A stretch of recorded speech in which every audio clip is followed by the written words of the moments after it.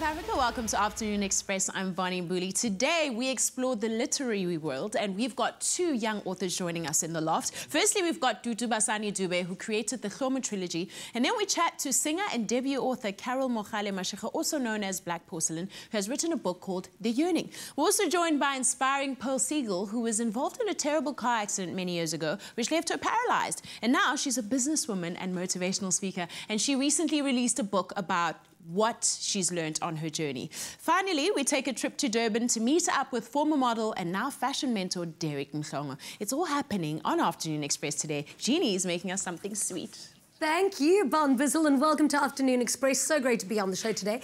And uh, I, we're going to be baking something absolutely delicious today with my absolutely gorgeous co-baker, uh, which is food, food blogger Ming-Cheau Lin. Ming, welcome. Hi, Jeannie. I'm always very excited to have you on the show. Usually Thanks, you, you make really traditional Yes. stuff for us, but today we are going pastry and tasty. Yes. Something sweet. We're going to be making honeycomb, which is one of my favorite things. Um, my fiance is a scientist, so we often bake together because it's a combination of science and food. Exactly. And also having studied patisserie, um, it's one of my favorite things to do is to make pastry and to work with desserts. Um, it's intricate, it's delicate, it's pretty, you know. Well, because he's a scientist, does he come up with his own recipes then with like a scientific base? Not necessarily. He kind of needs to follow. It's, You know, there- there's there's steps, there's methods, and that's how a scientist's brain usually works. Okay, well, I definitely need to know how to follow the steps and the method to this delicious treat that we're going to be making today. And you can too. Remember to uh, to visit our website, afternoonexpress.co.za, for today's recipe and, of course, all of the shopping ingredients. But for now, Barney's on the couch with our first guest. She's a journalist by profession, but her novels are the reason why she's joining us in the loft today. Viewed as a writer for the for everyday woman, her novels have gained a huge following. Her trilogy called the Hlomu series has been described sort of as a South African Fifty Shades of Grey. Joining us in the loft is author and journalist Dudu Basani Dube. Welcome to the loft, Dudu. Thank you, Bonnie. Yeah, oh, lovely to have you. So you're a journalist, and then you started writing. I've spoken to many journalists who find it hard to transition from journalist to just writing books, and most of them have that dream to write. How did you find your process? Well, for me, I studied journalism because I wanted to write. Writing was my first passion. I mean, the, the, the main reason I went for journalism is it was because I was told I could write by, by my teacher in high school. So it took me long. I started working at about 22. So I only wrote my first book uh, when I was uh, 32. That was two years ago. So I worked for 12 years as a journalist until I could find uh, the way to balance my time because it's a demanding job on its own. But Very you know, much. You write for a living, so you get used to it. So I started writing uh, in between work, but I, I I would work during the day and then write in the afternoon. But uh, you know, journalism is a career, but writing is, and it's totally It's, it's, a two different things. love. Yeah, It's exactly. reporting and writing a book, especially fiction. It's two different things. Yeah. So, but you know, it it happened. It it's what I wanted to do, so I did it. Well, congratulations. Thank so your your trilogy, the Hlomu series, what inspired it? Which one was the first, second, and respectively the third book, and what were they about?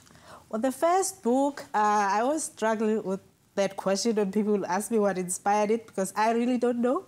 The book is just basically about a girl who goes through a lot of, of things over 12 years. You know, it starts when she's young. She meets a guy who is a little below her, you know, status level of life. Uh-huh. And uh, she, he is dark in a, in, a, in, a, you know, in an African kind of way.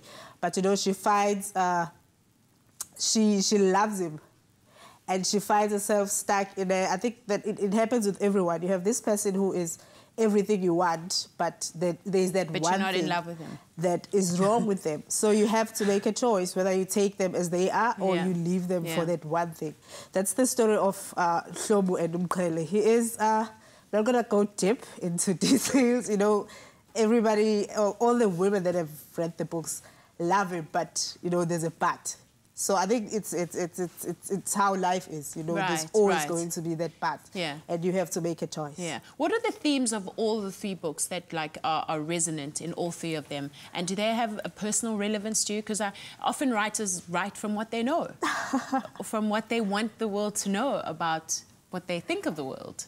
Well, they're all pure fiction, but everybody. Pure fiction. Yeah, they're fiction. Every, you know, people ask, uh, people think that, the people in the book do really exist, but I don't know them. You know, if I, if I, if I could bring them to life, I would.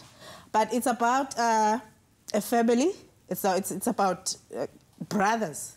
There's, there's eight of them. They come from uh, Town in KwaZulu Natal. You know, in the 90s, during the political violence, their parents were killed because their father was a warlord.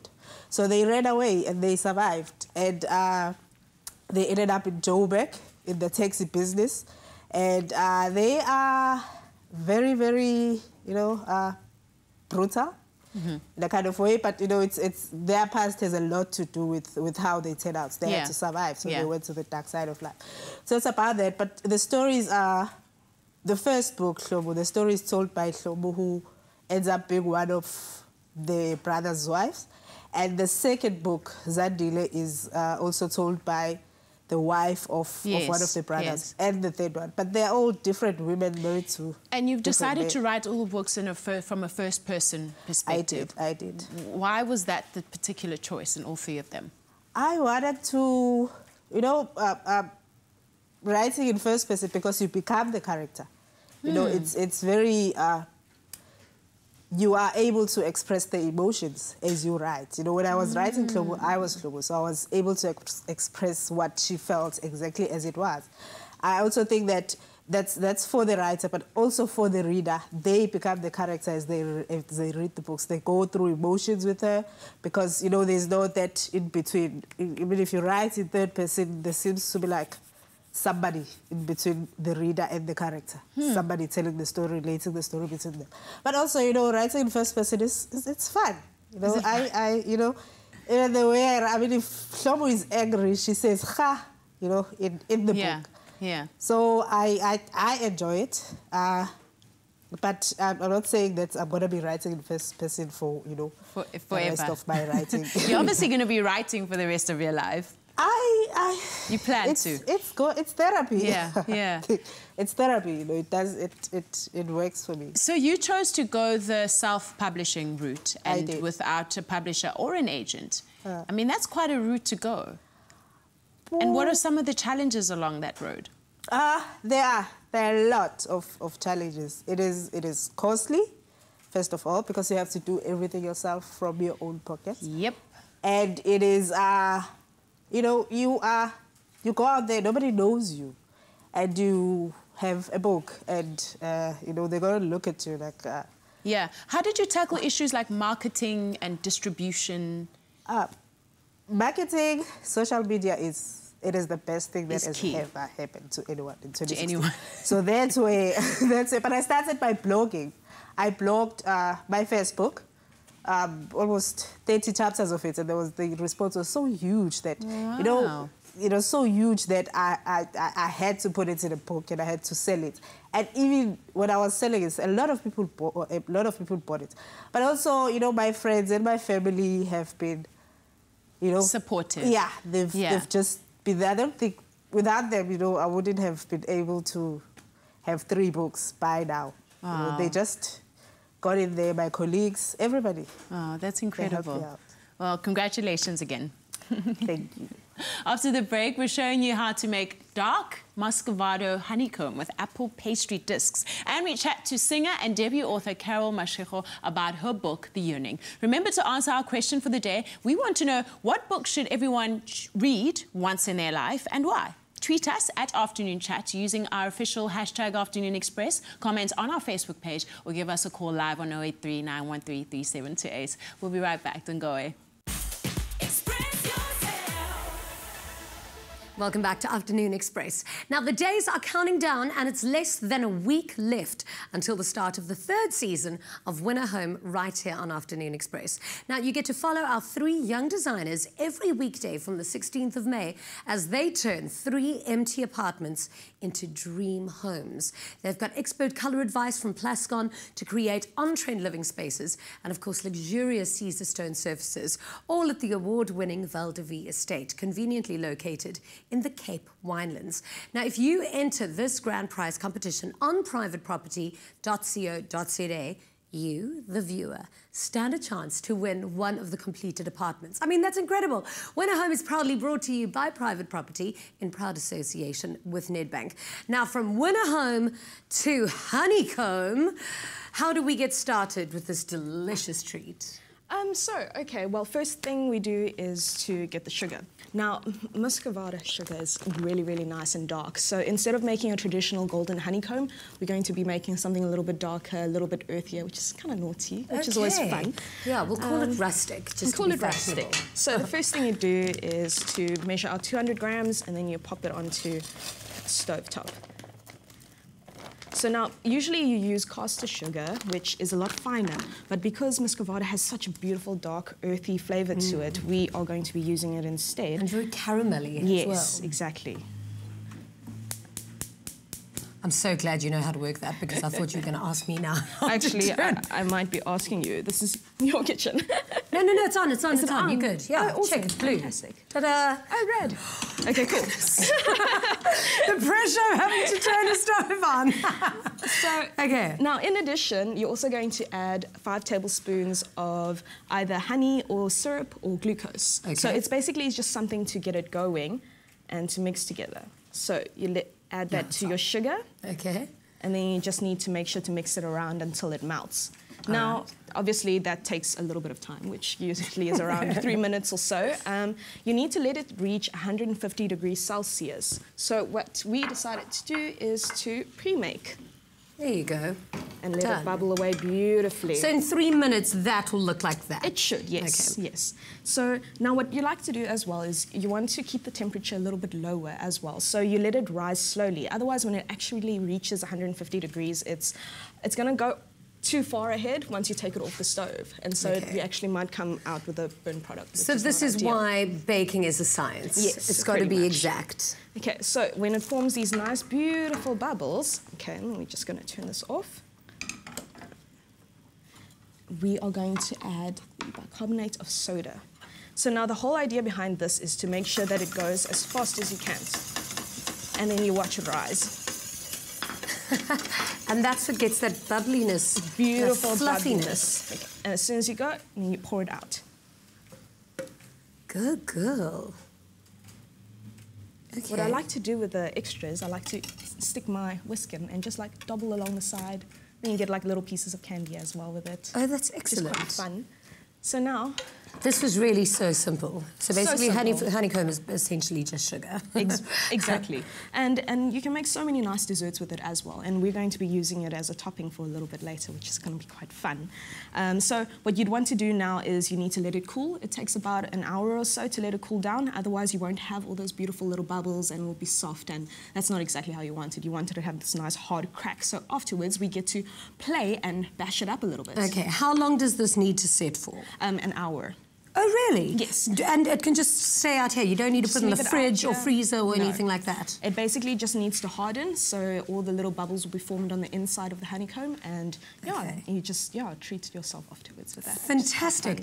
Remember, baking is a science, so you need to follow the recipe word for word to get it exactly right. But luckily, if you visit afternoonexpress.co.za, everything is there for you. And I think this is going to be a really tasty treat, for, especially now for winter when you want to eat all those bad things. But for now, Bonnie's going to be back on the couch, and uh, we'll finish up with this a little bit later.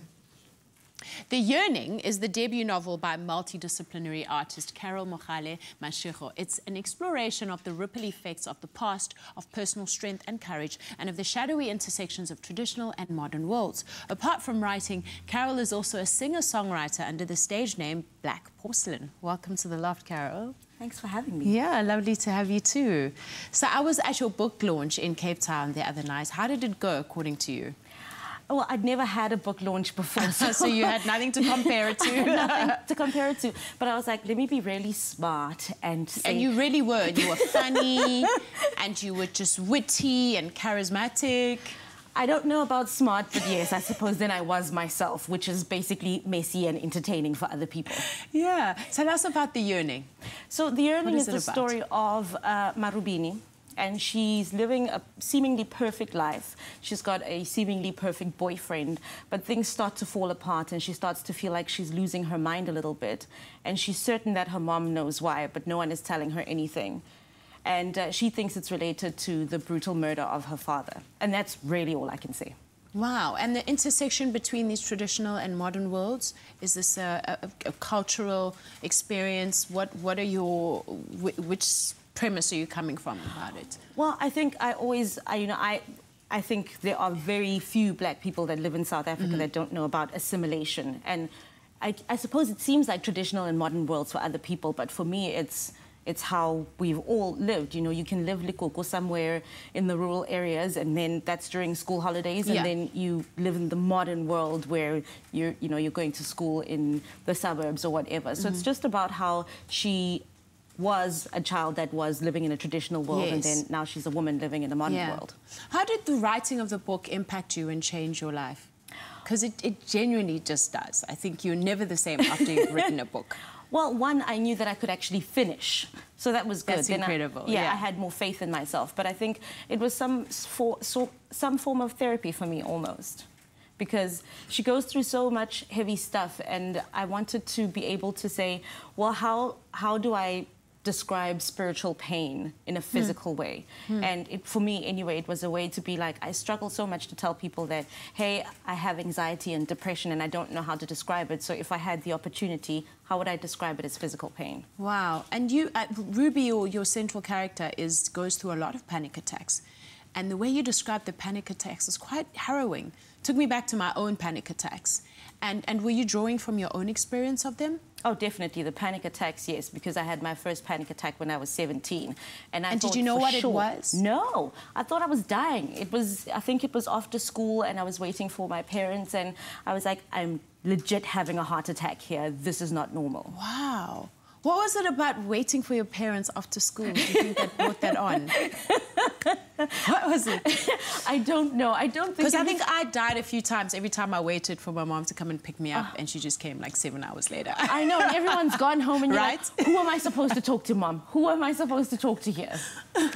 yeah. So it was that. It was yeah. my my own experience with anxiety and depression that informed how to best describe the spiritual pain in a physical way. Yeah. How long did it take you to write the book? Because you you said you first started writing the book and then you stopped halfway and then you started another book.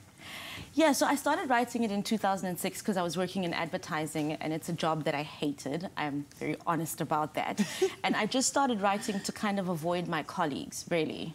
So I'd just be sitting at my computer and somebody would come over, I'd be like, ah, ah, no, busy with something. And then I abandoned it when I started working in radio. Because, because there was something you loved I and know. still love. I was happy, so I didn't want to write anymore. And then I think in 2010, I started writing what is now my second manuscript. And my best friend said to me, you'll never finish this one if you didn't finish the first one. Mm -hmm. So then I was like, oh, whatever, fine, I'll finish it for you. Yeah. And then it took me about two and a half years to finally get to the complete manuscript where I was like, hey, publishers, look at me, I did a thing. And what was that journey like looking for a publisher? Because, I mean, the cover of your book is beautiful. And then I read that excerpt written by Zakes Mda, and I was like, gasp. Zakes Mda is like literary legend, genius, like Adonis, all of it. What did that feel like, him reading your book and saying that about your book? Well, okay, so Zakes is, I joke, he's my BFF, but so I knew him oh, when I was... Oh, okay, I can die now. Zakes is my BFF. I met him when I was working in radio, and um, we started emailing, and then he had a launch here, and or he was getting a doctorate or something, but he said, "Won't you come along?" And I was like, "Oh my gosh!" And then we kind of stayed in touch. So when I'd finished this, I said, "Oh, do you know what? I wrote a thing. Can you just read it and just tell me is it bad?" And then he read it, and he was like, "You have to get this published." So I was like, "Ah." Oh, you're just being nice because you're wow, my BFF. Wow, that's incredible. He's a very nurturing man. I remember after I published my book, he, he tweeted me and said, oh, this is an incredible book and you have to carry on writing. And hearing that from like legend like him meant that I couldn't stop, but like, I try to stop every now and then. But anyway. Never stop, never stop. what is your writing process? I don't actually Do you just have a sit writing down, process. open your computer, and just start writing? Yeah, like if somebody is watching us right now and they're like, I want to learn how to write, I think I can write, where do they start? start with the first word. Seriously, wherever you are, if you have a piece of paper or whatever, just write. It'll eventually come together, even if you don't write it in the order that it's going to be published. Just write. I don't have a process. If I'm sitting down for long enough, even on my phone, I'll start like writing a paragraph. I'm like, what is this? Where does it belong? Am I am I writing something or is it just for fun? Yeah. What have been your friends and your family's reaction to your book? I mean, are they reading this like, oh my gosh, what's going on? Is there anything you want to talk to us about? Like, have there been like any like reactions? Well, I think my dad was the first person Yeah. besides my best friend who'd read it. And Yeah. he was like, wow, you can actually write. Right, I yeah. was like, thank you, Papa. Yes. I, I'm, I'm writing words.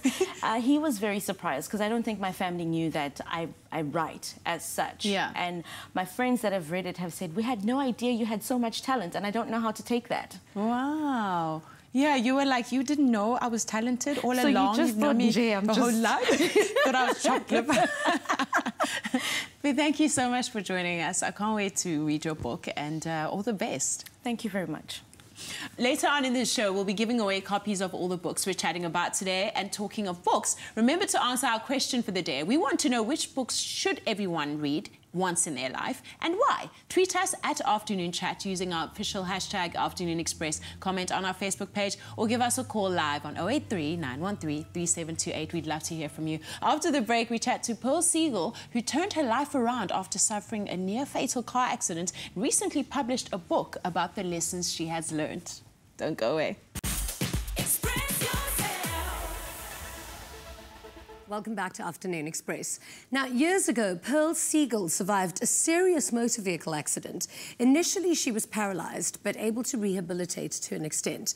With unrelenting tenacity, strength, and courage, she graduated with a master's degree in business leadership. And now she has written a book called Seven Tried and Tested Triangles, which is the fruition of many years she spent in personal change mode and blends personal life skills with business knowledge and helps improve a person's abilities to adapt and change. Welcome to the Loft, Pearl Seigel. Wow, what an introduction.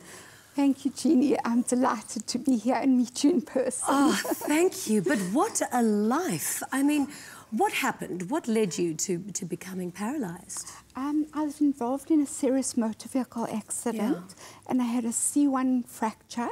So initially, for from here down for nine months, I couldn't move at all.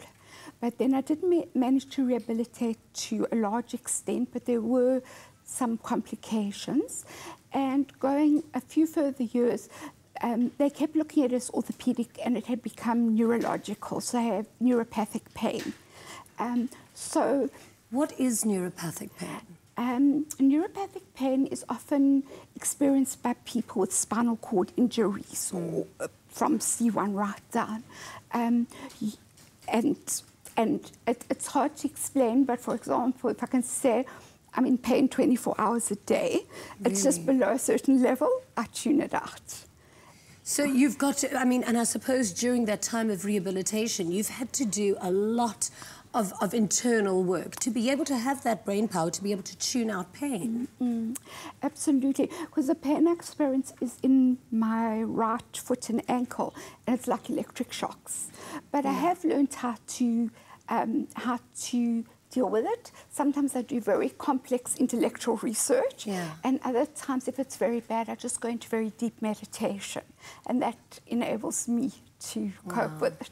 That just shows the power of the mind. Absolutely. So, how fully rehabilitated are you now? How mobile are you? I know that you use what you call a Harley Davidson. Tell us my, about that. my Harley, my, my ever, ever living Harley. It's part of my accessories, my phone, my pashminas, and my Harley. And I must say, there's no indoor speed limit, which is a definite benefit. And as well as that, I get indoor valet parking. Oh, that's perfect. How many other people do you know that get indoor valet parking? Exactly. So, when was that period of your life then that you decided that you were going to be an accidental author? How did that happen? Well, it, it really was accidental. And when I realized it was accidental, then I became a reluctant writer. Oh, yeah. But eventually I realized like, writing had found me irrespective of my reluctance. Was it after your re- rehabilitation that you decided yes, to start it writing? was. Okay. Um, I'd done other forms of writing. I used to provide training. Mm. So I'd done a lot of training course materials and PowerPoints manuals. And then, yes, and a bit of uh, copywriting, website content, bulk emails and all that type of thing. Um, and then everyone keeps saying to me, write a book, write a book. So I'd gone from one crutch two crutches, several neurosurgeries, and then a manual wheelchair, and then the Harley. And everybody said, we can't lift the Harley, it's 50 kgs, you have to write a book. So this is what I did. Okay, and then this was the book Seven Tried and Tested Triangles. What are these triangles? What is this about? The triangles normally denote change as a change process. So, for example, my first chapter is Maslow, the father of triangles, Yeah. as that was my first triangle when I was in first year of university. Yeah. And that got me started on the triangles because with Maslow's hierarchy, I've, I've sort of found a way of motivating myself and, and a lot of ways of how to look at life slightly differently. Yeah. Because with a hierarchy, you don't have to go one, two, three, four. You can jump a few, but you've got to be very tenacious. Exactly. And then there's other triangles. For example, uh, chapter two is what makes you tick. Yes, I wanted to ask you about that. What makes you tick? Now, that's something that I think is really important to myself, and I think maybe a lot of a lot of our viewers out there as well. Why is it important to know what makes you tick? It's very important because it, in, in, on a personal note, it may affect your choice of career, study, whether you're going to be an entrepreneur or a corporate person. And it's, it's also very good to know because then you can introspect into yourself and then you can understand yourself. But what's of even more use is that you can then look at other people and you can start seeing what makes them tick. And that is, that is a very useful tool because if you know what makes them tick, the, com- the communication process tends to go very smoothly and it just makes for a happy, happy relationship. So essentially, I think the seven tried and tested triangles, I mean, would it marry what you feel internally and almost like a self help book, but then also in turn help yourself in business? Yes, it, it, it is about personal life skills and that. It's also about business and competitive advantage. Um, also, another thing I'm passionate about is um, innovation. So there's quite a lot of innovation in there. And for people that don't like to read, there are a lot of pictures, and you can just go through them quickly. Um, and then I find often people who don't like to read when they see the fic- pictures, then they actually read the book. Yeah, I read um, a review actually on your book, and they said, you know, it's usually self-help books are quite tough to go through, and sometimes you've got to read through through things or read over things over and over again to somehow process that information. But they said with this one, it was really quite easy to get through and really did help. I want to ask. Is there a correct way of reading a self help book? I mean, how can I get the maximum benefit out of it? Do I sit with a pen and paper and kind of answer those questions for myself? Or do you just read it and let it kind of sink in? It's very different for each person. Some people actually start and they go through the whole book and they take leave off work to finish it. and other people go very slowly and they go through each little thing. But a lot of people that have it have read it three or more times because they just keep going back to it, either very slowly or very quickly. Well, such a pleasure to meet you. I'm really looking forward to reading this book. And of course, details on how you can get your hands on the seven tried and tested triangles will be on our website as well. Now, we've spoken to three incredibly talented and vastly different authors on the show. And today we are giving away two hampers containing the Hlomu series, that's all three books, The Yearning by Mohale Mashigo, and The Seven Tried and Tested Triangles by Pearl Seigel. Now, that's five books in total. To enter, SMS the keyword books, your name and city to 33728. SMSs cost one rand fifty, and T's and C's apply, and of course, can be found on afternoonexpress.co.za. After the break, we take a trip to KZN to catch up with former model turned fashion industry entrepreneur Derek Mhlongo. We'll be right back. Welcome back to Afternoon Express. We're live on SABC3. We've spoken to three incredible authors today, but now we move our attention to fashion. For the past 11 years, KZN model and businessman Derek Mhlongo has built a reputation for mentoring young people in the three fields of fashion, modeling, photography, and styling through his agency Decam Productions. We recently caught up with Derek in Durban to see what he's all about.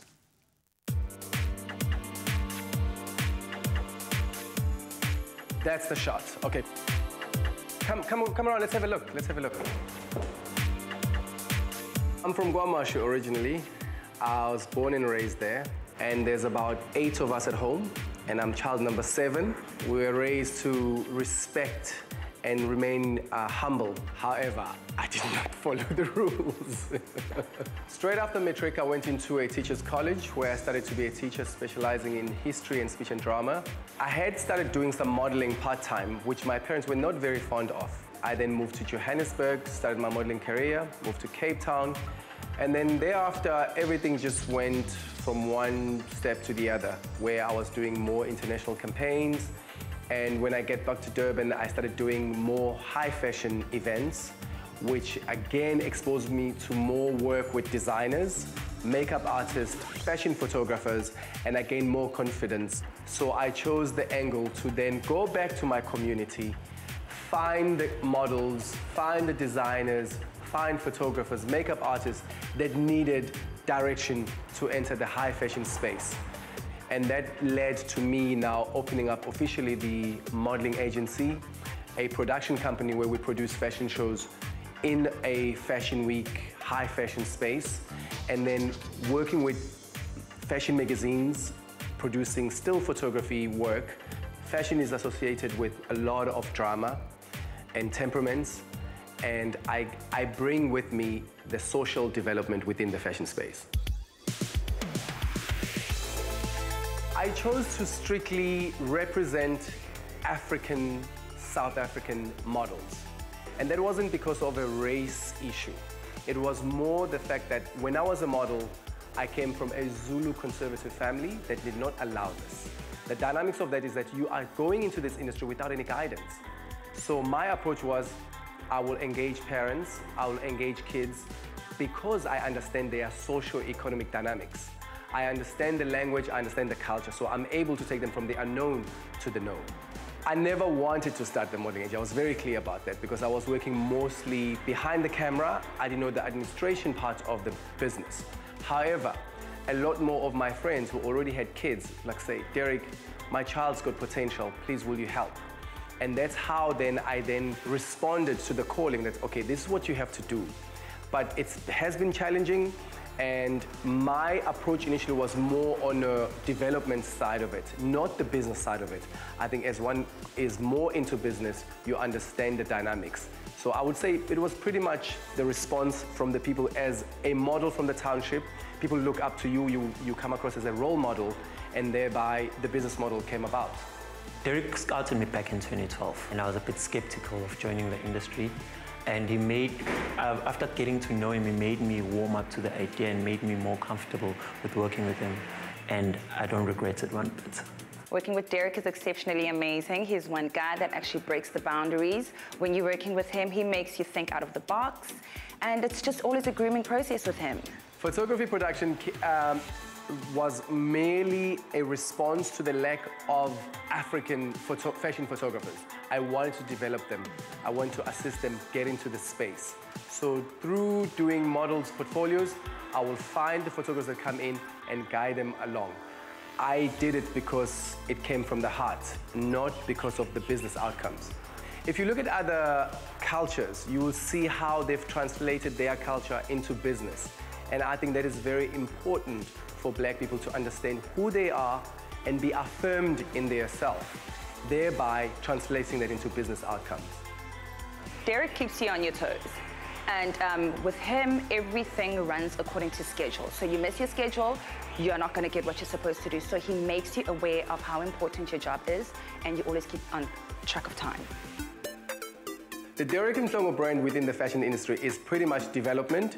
It is very clear Zulu. My designers are mostly KZN based. They are mostly people who did not go to, through formal education. They are people whose work that I've seen on the street or worn by some of the models, and I'll approach them individually and say, You've got an amazing skill, let me help you get into the fashion space. Career highlights being able to share my successes with the younger kids that need guidance in the industry is the most comforting success that I go to go with every time when I go to bed.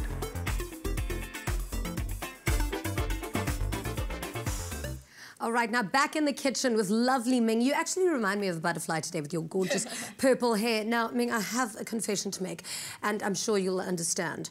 The smell of cooked apples and cinnamon, I mean, really. There's actually this thing that they say if you want to sell your house, boil apples in your house and then add cinnamon, just because that flavour just- give people like this nostalgic feeling. It's so Yeah. lovely. No, there's just something wonderful about apple pie in general. that Exactly. It just it makes you want to go towards it and have yourself a bite. So we've broken up our honeycomb. Yes. During the commercial break, I did have a tendency to eat the majority of it, but at least we thankfully still have some in the bowl, thank goodness. And now we're going to add it to the apple pie that you're going to teach me how to make. Yes, so um, you can actually add it to any pie, any tart, any form of anything, as long as you can sprinkle it like a topping, which is always fun. But we're going to make apple pies just because it's fun to Oh, let me, pie, let right? learn how to make them apple pies. So um, what I like to do is, if you don't actually have the time to make something from scratch, um, store-bought pastry is a fantastic thing to use, um, puff pastry. So all you need to do is you cut out your discs, one, two, and three, four, five, and six. So you cut out your discs, Yeah. and you pop them onto the tray. Okay, I'll help you. Thank you. There you go. A bit dusty and fluffy. Yep, all good. Okay, and then so then afterwards you're going to make the apple mixture for the top. So what you need to do is you need to get your apples, green apples. Okay, well you would switch the stove on first. That would make sense. There you go. Um, then you have your apples as well as your sugar and cinnamon. The best. Kinda, the Best, best, the best, best best. combination. And you kind of just like let it go for a little while so that all the sugar melts. And then after all the sugar melts, um, you will get this wonderful, lovely That's all it is. I I mean, you hardly even mix that. You hardly even that- mix okay, it. amazing. And just let it go. So then what you would do afterwards is you'd actually just lay out the apples on top. So you can cut your apples in any way you want. Um, I like to do nice chunky wedges because then you get some meaty, you know, apples in the mix. Mm, exactly. Yeah. So you can cut them into little blocks. You can cut them into slices, thin slices. But you know, let's try them out like And I suppose you can add anything. I mean, what else usually goes into apple pie? Raisins. Um, yeah, you can add raisins. You can add. Um, uh, I also like to add cherries into the mix sometimes. Oh, yes. Right? That's, that's Gee, you're awesome. invited to dinner at my house if you're cooking. Um, and so you just pop this into the oven at 180 degrees for about 15 minutes or so. Um, but then the next best thing after you take them out, they come out like Ta-da! That's- Eat your heart out, Martha Stewart. We've already done it. okay. So, there you go. So now, what I like to do in, in addition to that is I like to add some whipped cream Yes, you it, have to have cream. which is always always yummy. Mm-hmm. So now, what I like to do is to take a vanilla pod, and just to butterfly it, and to get the vanilla seeds out. So when you get the seeds out, look how gorgeous that is. But I mean, what is the? Are those the seeds or those, Those tiny little things? Yes, Okay. those are the seeds, and that's what you want to get out into Yes. your cream. So just to scrape out a little bit, just to chuck it in, and then just to give it a mix into it. Is that just that little bit of vanilla? It's so strong, so Oh, beautifully great. potent and powerful. It's, and then you also get to see the little black specks in between, which is always fun as Yeah. well. So then you get a nice mix through, and then dollop on top of your beautiful. little pies. There you go. Okay, and then I'm guessing the last phase of this is my job. Would you like to do the final touches? I mean, this is just so much fun. And you can put a lot on here. Yeah, as much as you want. There you go. I'm going to make them quite busy because I think chunky, rustic apple pies mm. with honeycomb. Honey, this is so good. Look at that. I mean, really, this is just. You're going for it. eh? No, I'm thoroughly There's no enjoying stopping this because I know I'm going to get to eat them a little bit later. How's that? And- chunky enough for you. There you go. Honeycomb on top of little apple tartlets with a little bit of whipped cream. And that is dessert.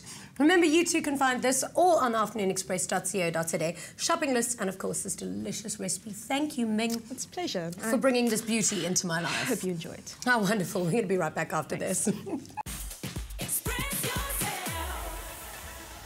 Welcome back to Afternoon Express on 3. Now, just another reminder that the days are counting down and it's less than a week left until the start of the third season of Win a Home right here on Afternoon Express. Follow our three young designers every weekday from the 16th of May as they turn three empty apartments into dream homes with expert color advice from Plascon to create on-trend living spaces and luxurious Caesarstone surfaces, all at the award-winning Val de Vie estate, conveniently located in the gorgeous Cape Winelands. Now, enter the grand uh, prize competition on privateproperty.co.za, and you stand a chance to win one of the completed apartments. I mean, what a prize. Win a Home is proudly brought to you by Private Property in proud association with Nedbank. Wow, what a prize indeed here. Yeah. And earlier on, we wanted to know what books should everyone read once in their lifetime and why. And some of your responses were Sabera Saeed said, I'd read Take My Heart by Marie Higgins because it shows us how people can deceive you, even someone as close as your family. Never view things at face value. Ooh, spicy. Then uh, Rizwana Ali says Danielle Steel's Wings seems to be my all-time favorite. It clarifies the term if you love something, let it go, and if it's meant to be for you, it'll always find its way back to you. Books help you live in a different time and situation. It's amazing how you can transform into anything just with a little imagination. Wow. I love reading. Yeah. What have been the biggest books in your life? Like, uh, what had the biggest impact? Well, I've, I've, I read a lot. I used to read a lot before I started writing. And, uh, but the best books would be the books I, I, I, I read in high school because they inspired uh, the way I write. Yeah. Books like To Kill a Man's Pride, uh, Winners, and I, I don't think I've found any books that are I are loved To Kill a Man's Pride. Yeah. We're just going to take a quick phone call. We've got Tombi on the line. Hi, Tombi. What's your question or comment? Hi. Um, well, for me, uh, any book is a readable book because I've learned from my experiences in reading that fiction, novel, or religious books, they all have some sort of advice to give. Okay? Exactly. So definitely, I've learned quite a lot from my anger management to forgiveness and accepting who I am. Wow. Thank you. Brilliant. Thank you so much for your phone call. You know, there's a lot of young um, emerging authors in South Africa. More and more people are just writing books in, in, in ways that people who've never written books before. So, how do we grow readers in South Africa? Because publishers complain that South Africans aren't readers. We Any need more thoughts on that? libraries in schools. Yeah. That's it. That's how I became a reader. Libraries and schools. Otherwise, my mom would just give me old magazines and be like, "Stop talking, read this." Just read. Yeah. So whatever it is, even if it's a newspaper, magazine, whatever, just Yeah. yeah. I think reading is so important. It what, what's how, I mean, how do you think people should be encouraged to read more? Um, I think reading's so important, not only for knowledge or information, but also for creativity and problem solving. And you've got to just let it flow. And without reading all the games and that, that you don't have to use your imagination.